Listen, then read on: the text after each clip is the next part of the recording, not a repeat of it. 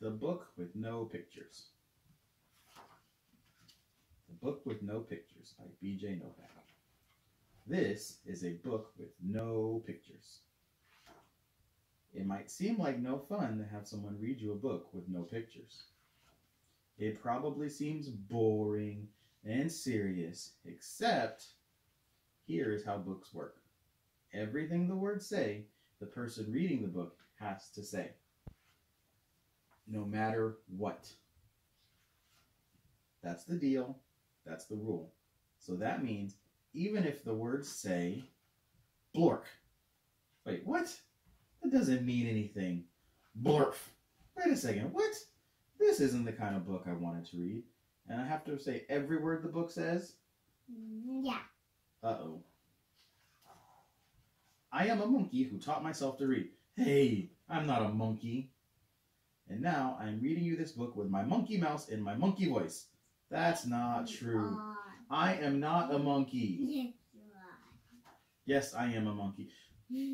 Also, I am a robot monkey. What? You are. And my head is made of blueberry pizza. Yeah. Wait a second. Mm-hmm. Is this whole book a trick? Yeah. Can I stop reading, please? No. No. And now it's time for me to sing you my favorite song. A song? Do I really have to sing? Yeah. Glug, glug, glug, my face is a bug. I eat ants for breakfast right off of the rug. What? This book is ridiculous. Can I stop reading yet? No. There are more pages? Yeah. And I have to read the rest of them? Yeah. My only friend in the whole wide world is a hippo named Boo Boo Butt. Boo Boo Butt. yeah. Also, the kid I'm reading this book to is the best kid ever in the history of the entire world. Oh, really? And this kid is the smartest kid too, because this kid chose this book even though it had no pictures.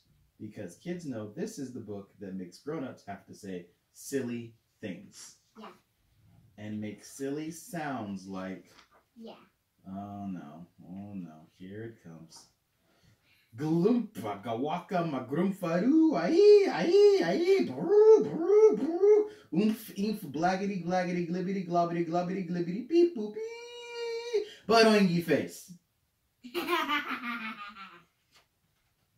Oh my. Please don't ever make me read this book again. It is so silly. Yeah. In fact, it is completely and utterly preposterous. Next time, please, please, please choose a book with pictures. Please, because this is just too ridiculous to read. The end. Bonk.